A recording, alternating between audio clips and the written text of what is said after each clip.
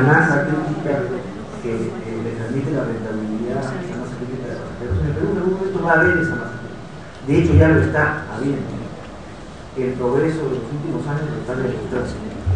No hay otra manera de solucionar ese problema que no sea obviamente sacando dinero del Estado y, compitiendo realmente con cualquier privado a costa del dinero de todos los ciudadanos.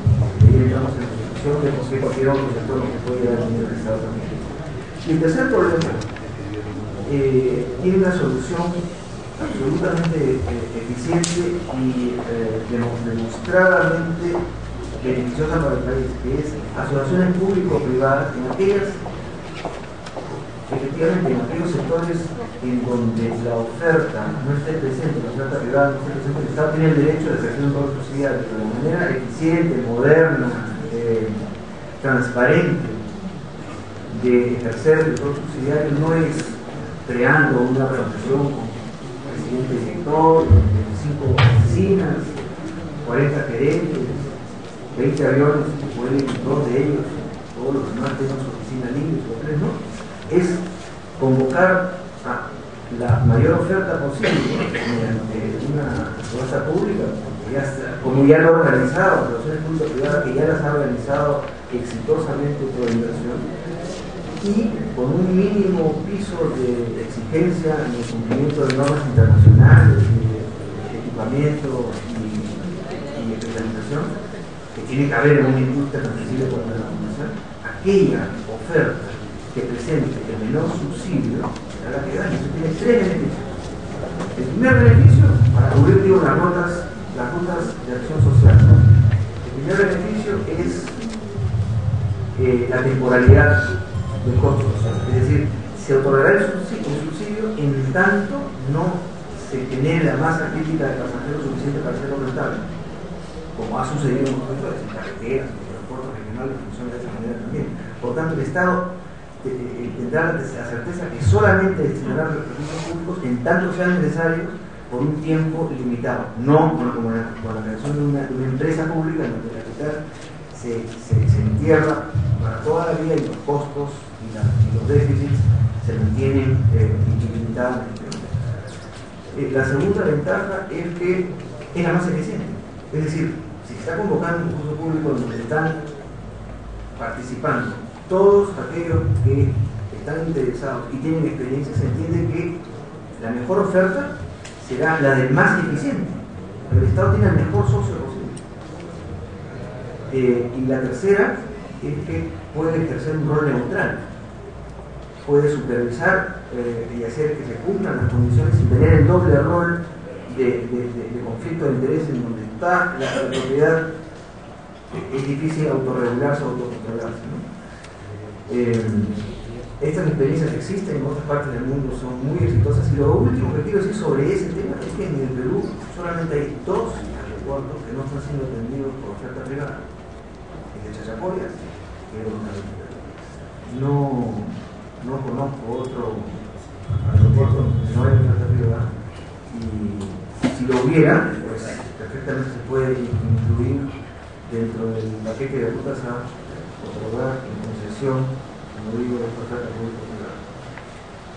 Yo le escuchaba al doctor Palacín decir que no era una empresa pública, pero que requería capitales dentro de una empresa pública. Entonces, la, verdad es que yo me confundo. Una empresa pública,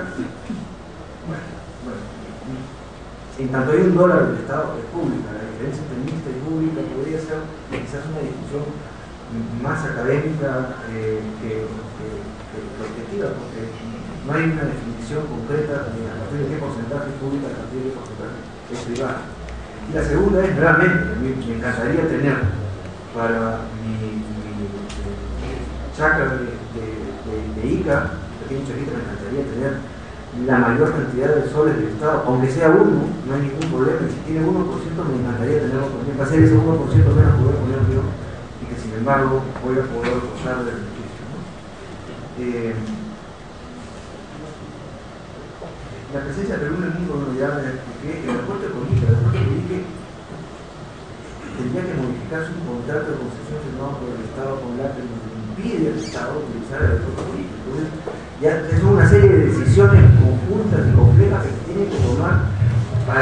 de todas estas decisiones, entrar en un, sueño de querer ver volar la cola de un avión peruano, lo cual cuesta 2.000 o 3.000 millones de dólares. Es decir, los sueños pueden costar caros si no se sintetizan, si no se factorizan y si no se explica concretamente de dónde va a salir el dinero y de, qué manera va a afectar a los ciudadanos el hecho de perder ese dinero.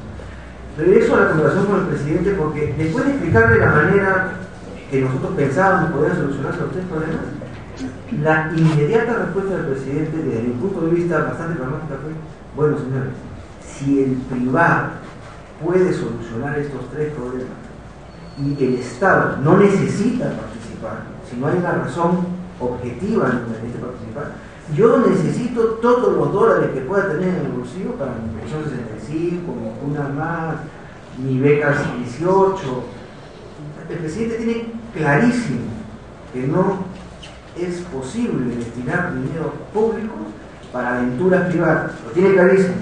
Y, tiene clarísimo también que va a estar muy fiscalizado para competir con todos sus programas sociales, no solamente con todos los demás sectores del Perú que quisieran ser receptores del dinero del Estado, sino específicamente con sus programas sociales que le van a decir en el oído, quiero ver cómo cada dinero que pones en esta industria para volar no estás poniendo en la, en pensión para pagarle al pobre o en el vaso de leche para Así que lo, tiene claro, y para mí eso es una tranquilidad, porque más allá de, la retórica que pueda haber y por el comentario público respecto a la línea de bandera, tiene muy claro el presidente que no va a malversar dinero público ni va a introducir al Estado en la aventuras privadas. Eh, bueno, en realidad yo no tengo más por ahora. Eh, le agradezco, señor García, por Que hay que puntualizar varios aspectos. Primero, el proyecto plantea la modificación del contrato del Aeropuerto Internacional Porte Chávez para que se firme la lengua 6, para que Coyique, Las Palmas, el aeropuerto que se cree, pueda competir con Lima Palmas. ¿Y por qué? Porque a mi criterio, la cláusula que protege a los concesionarios de aeropuertos es monopólica y es anticonstitucional. Y si no, haremos una acción ante el Tribunal Constitucional, porque hay que defender los derechos de los consumidores. Y acuérdense que nos opusimos en el Congreso de la República a esas cláusulas monopólicas. Después, lógicamente, que si el presidente escuchaba, discúlpeme, doctor Alfonso García León, la barbaridad jurídica que se necesitan 3 mil millones de dólares para una línea de bandera, cualquiera se asusta. Eso es falso, totalmente falso. Y no hay que confundir a la opinión pública ni mentir, porque el proyecto de la línea aérea de bandera requiere 70 millones de dólares, 42 del Estado y 28 del privado. Y también es falso lo que dice OSUR, y exhorto al gobierno de Evo Morales que se pronuncie, que BOA pierde dinero, señores, lo digo en mi libro. Evo Morales invirtió 15 millones de dólares y en el primer año ha ganado 1.200.000 dólares de acuerdo a balances auditados porque Bolivia está manejando bien su línea de dólares. Entonces es muy fácil soltar a la opinión pública informaciones que asustan. Hoy el Estado va a malversar, hoy el Estado va a gastar 3 mil millones de dólares. ¿Y quién sostiene la afirmación de que el Estado necesita 3 mil millones de dólares? Por lo menos Julián Palacín en su proyecto, lo he fundamentado en el Canal 8, en el Congreso, en todos lados, es un proyecto que el Estado invertiría 42 millones de dólares no 3 mil millones de dólares. Lo corrijo, lo rectifico. No es verdad, es falso. Quien le haya dado esta información al presidente Ollanta Mala le ha mentido. No es falso. Después se habla de que el Estado no tiene que destinar recursos para esta línea aérea. Pero no se dice que el Estado, y acá está mi informe a proinversión, pero el Estado sí tiene que ayudar a los empresarios privados a darle el cofinanciamiento para que administren aeropuertos. A mí me dan aeropuertos y todavía el Estado me da dinero para que los administre. Eso sí, porque son negocios privados y si crecen los empresarios privados, ahí no hay subvención ni hay dinero público. ¿O acaso el Estado no apoya a los concesionarios de aeropuertos? ¿Y de dónde salen de las regalías de la? Por favor, acá está mi informe a inversión en el 2002 que me costó el puesto en Corta, porque yo sí defendía los intereses del Estado peruano, en donde yo dije, claro, van a hacer, Currian Brown se les ocurrió a algún inteligente traer unos ingleses que no salían de los puertos ¿Y Currian Brown? ¿Y quién es Currian Brown? ¿Y qué sabe la gente sobre inversión de aeropuertos? Yo firmé un documento como funcionario público y presidente de Corta, que lo digo en mi libro, en donde le di, una clase magistral del aeropuerto de Chinchero, acá está, y de la... todo el tema aeroportuario del país lo conozco perfectamente. Perfectamente. O sea, cuando sabéis que subvencionar a los empresarios privados, ahí no.